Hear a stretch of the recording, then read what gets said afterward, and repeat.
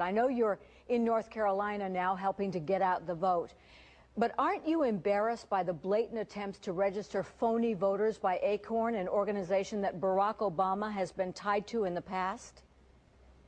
I am not embarrassed by it. We are not tied to it. We've not paid them one single penny to register a single solitary voter. We have the best get out the vote operation in modern American history. We've registered the voters ourselves, and so there is no relationship.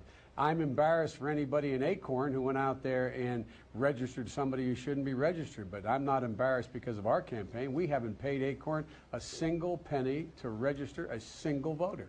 But in the past, the Senator, but in the past, Senator Obama was a community organizer for Acorn. He was an attorney for Acorn, and certainly in the Senate, he has been a benefactor for Acorn.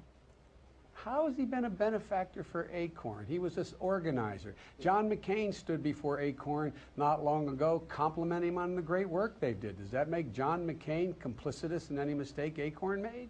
Come on, let's get real here. Okay, moving on to the next question. Senator Obama now famously told Joe the plumber he wanted to spread his wealth around. A Gallup poll showed 84% of Americans prefer government focus on improving economic conditions and creating more jobs in the U.S. as opposed to taking steps to distribute wealth. Isn't Senator Obama's comment a potentially crushing political blunder? Absolutely not. What, the only person who spread the wealth around has been George Bush and John McCain's tax policy. They have devastated the middle class.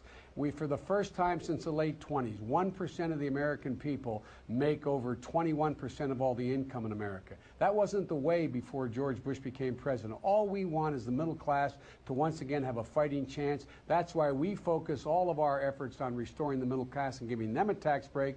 And John McCain doubles down on Bush's tax cut and adds $300 billion in new tax cuts for the largest corporations in America and the wealthiest Americans. We don't think that's the way to do it. We think give the middle class a break. That's the way to do it. You may recognize this famous quote from each according to his abilities, to each according to his needs. That's from Karl Marx. How is Senator Obama not being a Marxist if he intends to spread the wealth around? Are you joking? Is this a joke? No. Or is that a real question? That's a question. he is not spreading the wealth around. He's talking about giving the middle class an opportunity to get back the tax breaks they used to have. What has happened? Just this year, people making $1.4 million average, the top 1%, good, decent American people, are going to get a new $87 billion tax cut, a new one on top of last year. We think the people should be getting that tax break or not continue to redistribute the wealth up. We think middle class taxpayers should get a tax break. That's what we think. It's a ridiculous comparison with all due respect. Now, you recently said, mark my words, it'll not be six months before the world tests Barack Obama. But what worries many people is your caveat, asking them to stand with him because it's not going to be apparent initially that he's right. Are you forewarning Americans that nothing will be done and that America's days as the world's leading power are over? No, I'm not at all. I don't know who's writing your questions, but let me make it clear to you.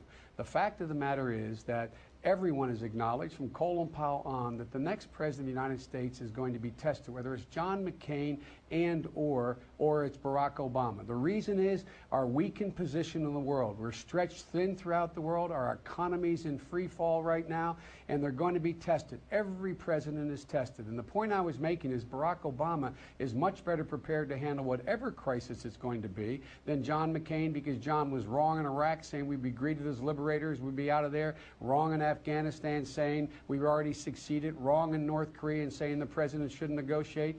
Barack Obama's been right, John McCain's been wrong. That was my point. Barack Obama is more ready than John McCain.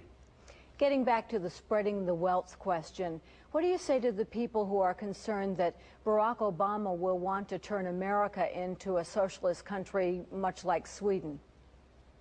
I don't know anybody who thinks that except the far right wing of the Republican Party. Okay, Senator Biden, thank you very much.